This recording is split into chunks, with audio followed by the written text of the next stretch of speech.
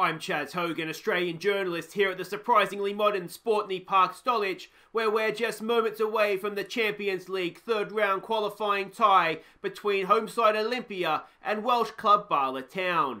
Upon arriving, Bala manager Aussie Villain was quoted as saying, me, this is nice. Who are we playing again? I hope their football isn't as good as their facilities. I'm Chaz Hogan, Zananana. Hi guys, I'm Aussie Villain. Welcome to Season 7, Episode 2 of The Impossible Dream with Bala Town. And today we are playing Olimpija Ljubljana uh, in the Champions League third qualifying round tie. A winner, of course, and we will go into the playoff round for the group stages. But I've got to say, I'm a little bit concerned about this club's facilities. If we go and have a quick look, I mean, you've seen the stadium uh, in the intro there with Chaz, but go and have a look at the facilities here. Not just that they've got a really nice looking stadium, they've got great training facilities, good analysis facilities, uh, sorry, good youth facilities, good academy training and excellent youth recruitment.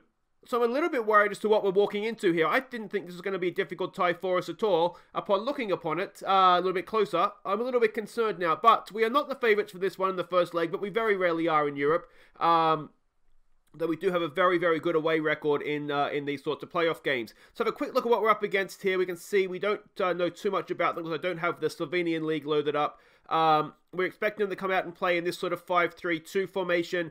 I'm hoping if they do play it, that we'll be able to overlap with wingers and fullbacks and and sort of get down get to them down the uh, down the edges. This is a team we're sending out for the first leg, and it is as followed. Maurice has got a little bit of a knock uh, but it's nothing too serious. He's wearing a protective arm. He's damaged his elbow or something. Damaged elbow, yeah. So he's wearing a protective sleeve so hopefully it won't uh, benefit, it won't hurt us too much there. But Rima Miles goes in goal for this one. It's Burke, Gretarsson, Gosney, and Sears as the back four. York and new boy Murphy, of course. Quick reminder of him: if we need to, he will move out to the left in this one, and we'll look to bring someone like McVeigh on, uh, or maybe Lowry in midfield. Connolly, he holds his spot out in the right wing. He's done really well for us so far. It's Dixon and Maurice, and it is Michael Stewart up top. Again, best finisher at the club. We're needing to put some chances away here.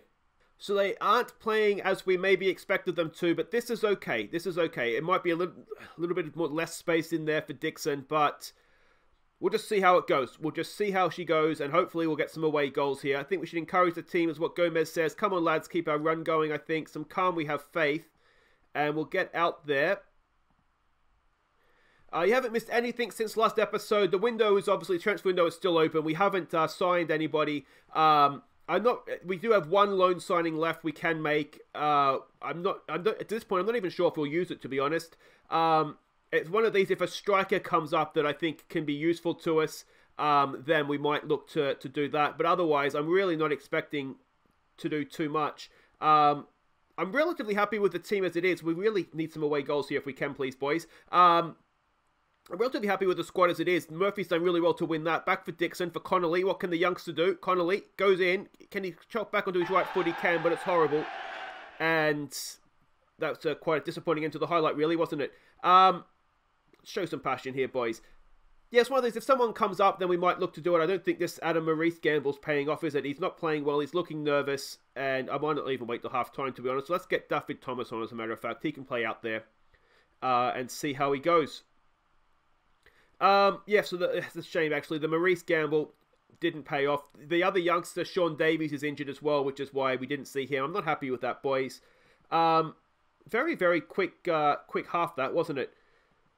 But uh, yeah, I forget what I was saying. Oh, transfer window. Yeah, we may see something else. We may not. Uh, we're, we're in a position now, I think, where we can just kind of play it by ear and and wait for something that's useful to us to come up. Otherwise uh, we might just leave it as it is for now. All right, let's look to work ball into the box here. Let's take it off, exploit the flanks. Let's see if that helps us out at all here. We really do want an away goal just to allow for a mistake at home. Um, but so far, we've not seen absolutely anything from us. Are we going to see a highlight in this game? Bork in there for the Slovenians. Can we win that? Not as of yet. Can we go in that? Oh, sliding in late. Couldn't quite get there. Come on, boys. Get a foot in. Get a foot in. No. Can we get to that? No, we cannot. Come on, boys. Pressure on. Put a foot in there. Get, win that back. Come on, we've got two men on one. Surely we can win this. He's up against the ropes, and we do win it back. Sears has it now. Can he get a ball forward? He does. It's early. It's not the best for Michael Stewart, and We're looking like a rushed, panicked team right now. Maybe we need to lower this tempo a little bit. We do win that, though, with York. Down for Dixon. Can Dixon spread play? He does. He finds Duffy Thomas. Thomas comes back on his right foot. It's Connolly! And Connolly's getting closer. That was a little bit better. Let's maybe take it. I don't, I don't know what to do. Um, that's what you want to hear your manager to say, isn't it? I don't know. I don't know what to do. um, let's try exploit the middle, look for overlaps. Um, uh, Connolly's not having a great game. We've got work to do here defending a free kick. Can we get that away? We can't. And a really, really good save from Rima Miles has kept us in the tie, perhaps. One goal, of course, wouldn't be end of the world, but we usually are quite good away from home and we struggle at home. Or is it we usually are good in the second leg? I guess maybe it could that could just as equally be the case. Um, we've we've not looked good at all here, though, have we? Let's try a show some passion with 20 minutes to go. We're looking nervous, which is never a good sign. Can we win that? No. Connolly goes to close down. They just look as though it's all a little bit too simple for them right now, don't they? Can we get a foot in there? No. Man coming forward. I wonder if we want to actually close up the lines a little bit. Sears with a good header down there for Dixon. Dixon looks early for the run of Connolly. He's found him. Can Connolly find a teammate? There's no one in the box with him. He's gone himself. Connolly. With no option, we need to, I think we need to lower the tempo perhaps. We need to not, actually no, let's not pass into space because that's not quite working for us. And I'm wondering if we need to just go and close up those lines. Just make it a little bit more difficult for them to, uh, to pass through the middle of us. Um, Thomas is looking nervous. Another highlight, 15 minutes to play. Can we get a foot in here? No. It should be a little bit more difficult for them to pass through us now with the lines closer together. But, I mean, they, they look as though they... Oh, there we go. They've loose pass there. Burks picked it up in there for Murphy. Murphy, there's a good pass for Connolly. Can he do it this time? It's off the post. It's right there. Almost an own goal, and it's hacked behind for a corner now. Can we get the lads up from the back? Good bits of quality here from Thomas into the box, please. And can we head ourselves in front? It's headed away. York is there. He can't quite win it back. We should get to that. Ends the highlight. Let's give it a demand more late on here. We're still looking nervous. Duffy Thomas has not had a good game um, playing up there on the left. So what can we do? We can... Connolly's had a poor game as well. So let's bring McVeigh on for Connolly. Switch them around. Put McVeigh in the middle for Murphy. And see if that works at all for us.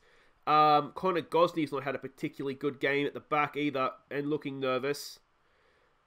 Looks as though, unfortunately, we're going to be going back home tied at nil-nil. We did have the better of the game. We looked nervous the entire way through, and that showed in our finishing as well, to be honest. I'm not happy, boys. Not happy. So a nil-nil draw away from home. Murphy shines even as we fail to win. We're going to have to have a eight key passes. Well done to you, sir. We're going to have to have a serious think about what we want to do in this second leg. Uh, we do have a League Cup, a Welsh League Cup second round tie coming up in between games. I'll play through that, show you the highlights, uh, and then we'll try and win this tie at home.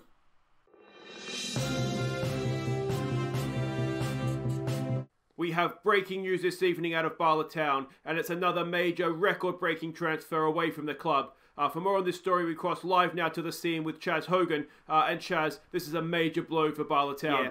Yeah, thanks, Nigel. Yeah, look, uh, August Freya Gretarsson has left Bala for Derby County for £1.6 million, breaking the Welsh transfer record for a third time this window. Now, this is a massive blow to Bala manager Aussie Villain, as the young Icelandic defender had just established himself in the first team. Back to you. So this just happened the day after the uh, Champions League uh, game we just saw. Uh, Brentford came in with a bid. It wasn't was it was like half a million, not even that. Gretarsson kicked off. Um, I said if you got a, we got a bit of uh, whatever I said, like eight hundred thousand, then we would uh, we'd sell him. Um, and clubs started coming in with the bids of a million. So yeah, Gretarsson, it's a real shame. He had just become our first choice centre back uh, but he leaves to Derby County. It's a good fee, 1.6 million, 50% of any future fee as well. Um, so that's not a problem. It, I mean, it all helps the finances. Well, it's a big, big blow though, because I really, really thought he was going to be one of our main defenders. We do have, of course, have Michael Swift, who we also signed this season, so he can come in and, and sort of play in. Uh, I'm assuming he. Well, my plan is now he will now come in and be the first choice defender next to Connor Gosney.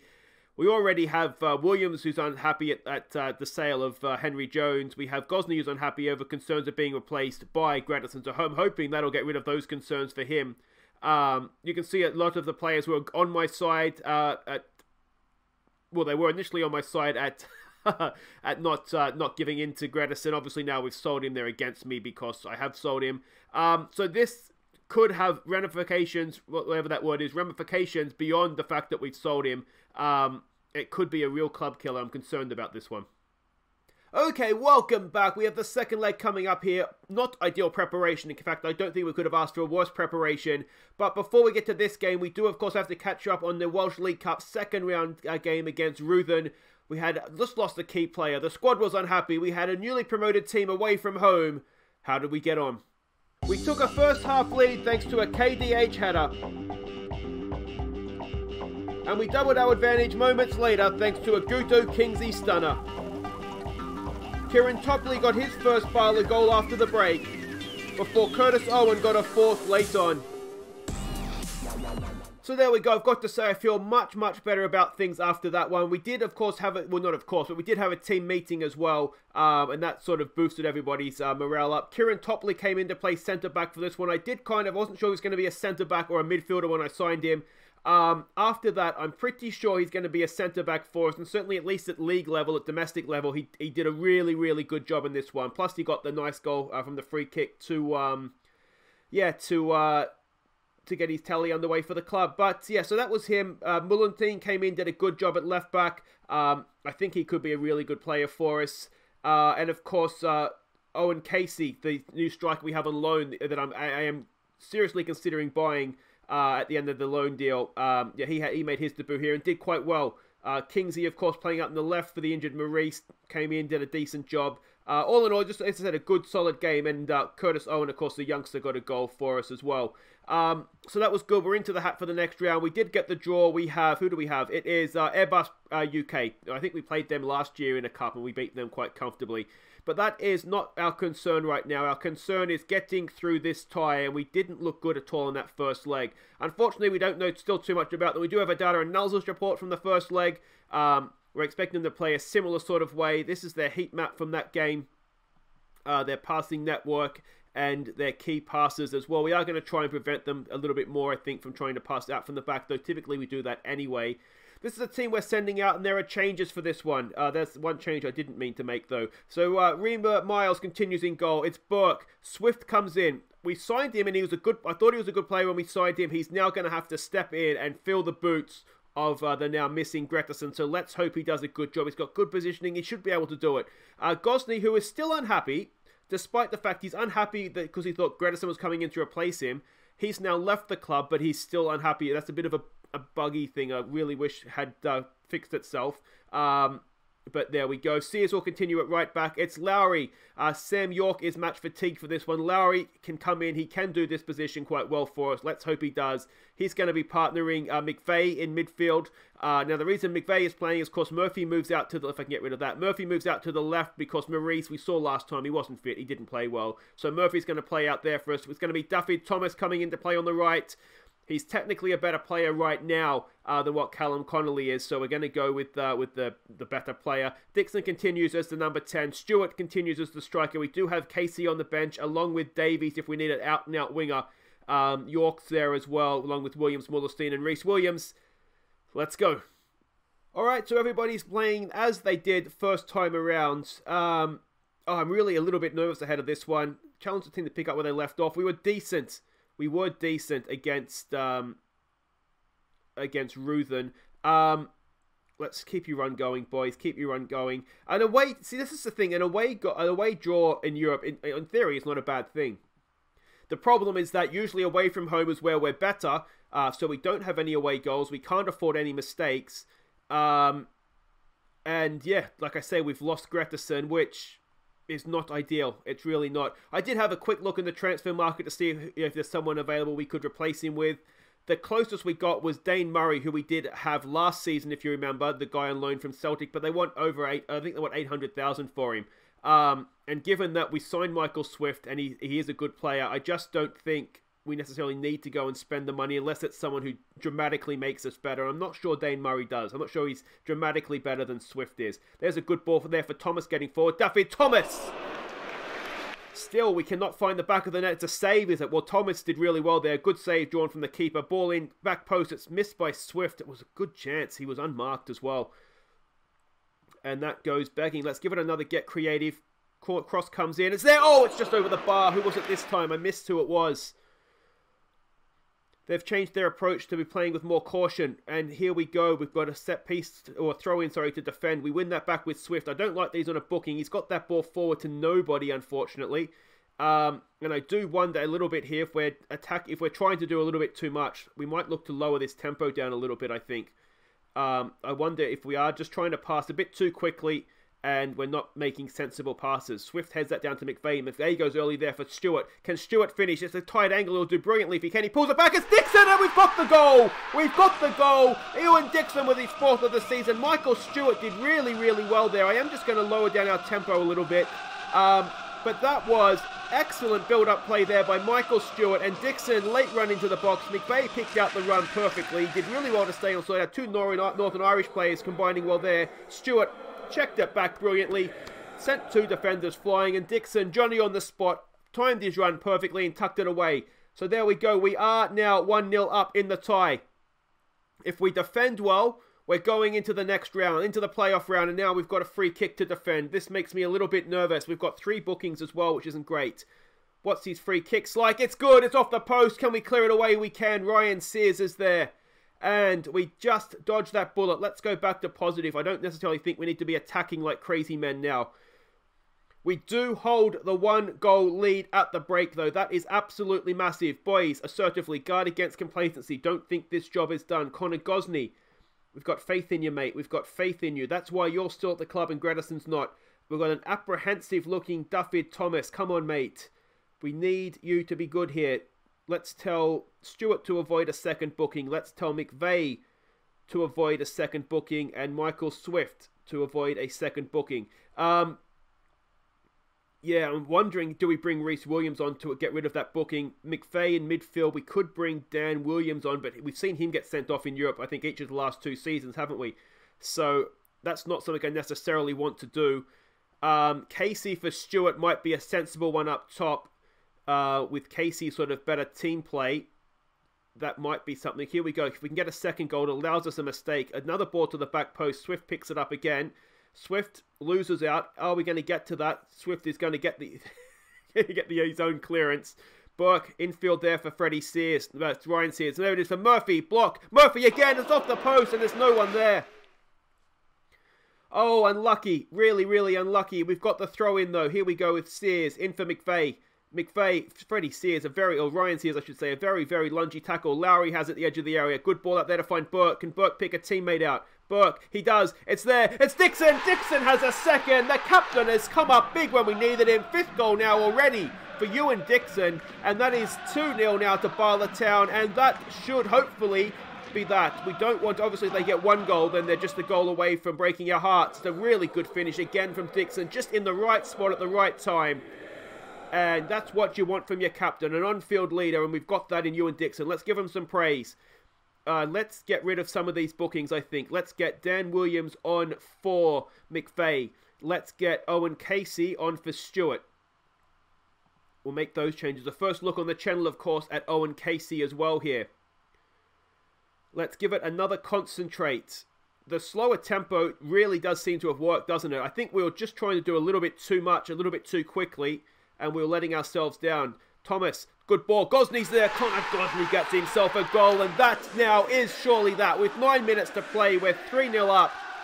Duffy Thomas with an assist, his first uh, meaningful contribution in a Bala shirt. Cracking header from Connor Gosney, put on an absolute plate for him by Duffy Thomas. And that is, we can breathe a little bit easier now. Uh, excellent stuff, boys. Let's give them some praise. Heart attacks in the first leg, but when it really needed it, we had second leg masters, it turns out. It's not playing away from home, it's just the second leg. When everything's on the line, we just have that little bit of extra ability to step up and uh, perform on the big stage. Sears nicks it there for Gosney, for Dan Williams. Dan Williams gets it forward for Duffy Thomas. Can he find Casey in the middle? Be good to get one of these guys on the score sheet. He does brilliantly well. Oh, unlucky. Well defended. Credit where it's due. Murphy has it now. Across there for Burke. Murphy again. Murphy crosses it in. It's headed away. Can we get to that? Dan Williams is there. This is good pressure. Ryan Sears has it now. Down the line for Duffy Thomas. Thomas crosses it in. Murphy, oh, penalty. Stonewall penalty. Dixon for the hat trick. I'm tempted to let one of the guys like uh, Casey take it for his first goal. Dixon, though, that's the hat trick. The captain of the club. What a player he is looking to be for us. He is, of course, one of our own. And that is 4 0. And we have run riot in the second leg. Well, the second half of the second leg, really. It was not. Uh, it was a tight game up until half time. Just the one goal in it. And second half, we've destroyed them. And that is us into the playoff round. One tie away from getting back into the Champions League group stages. And uh, given all that happened between those two ties, I'm really, really happy with that, boys. That's brilliant. Swift came in as well, did at the back, looked assured. Uh, we didn't give away too many chances, and it is Basel or Basel, however you say it, in the playoff round. Now they are a very good team, aren't they? Uh, they're a, a, team with very good European pedigree. Um, and apart from Red Bull Salzburg, I'm going to say possibly the worst draw we could have got. Uh, let's have a look and see what we're up against. This will, of course, be next episode. Basel home and away. Um, not tactics. We want to look at, um, at players. They have essentially a full squad of players. The goalkeeper looks good, and I don't know if we want to see any more. Um, who's their strikers here? Ademi, uh, 29 year old. Good look at that jumping reach. Although we have we have decent enough defenders in the air now as well. So this is going to be a tough game for us. Let me know what you think in the comments. Can we get the better of the of the Swiss champions? Worst case scenario, though, now, what a performance that was from Dixon. Um, we are in the Europa League group stages, and given the money that we've made from uh, transfers this year, I'm going to say that we'll be, we'll be fine this, this season in terms of money. We know we've got at least a guaranteed two and a half million coming as well. Uh, look at that. We've got more money in the to spend on uh, transfers than we do on uh, in the bank. But yeah, again, let me know what you think in the comments too. The Gretarsson sale, was it the right thing to do? I think the fact he was unhappy, I think he did have to leave. Um, and I'm relatively happy with the fee. Do we need to replace him, or are we okay going with? We have still got Rhys Williams, who's a good player in the league.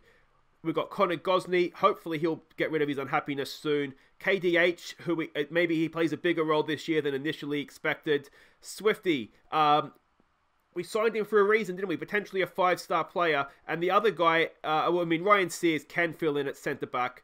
Um, and of course, the other guy is Kieran Topley, who, as I said, heading direction isn't great, but everything else about him there says a decent enough ball playing centre back. So let me know what you think. Do we need to try and spend? It's big money we need to spend. We'd be looking at a million pounds or thereabouts, or are we okay to get by with what we have for now? Maybe if we get into the Champions League group stage, that determines that with that extra money, doesn't it? Anyway, guys, I'm rambling on. That's it for today. Thank you so much for watching. We'll be back next time for Basel Home and Away. I've been Ozzy Vell. Thank you for watching. Take care.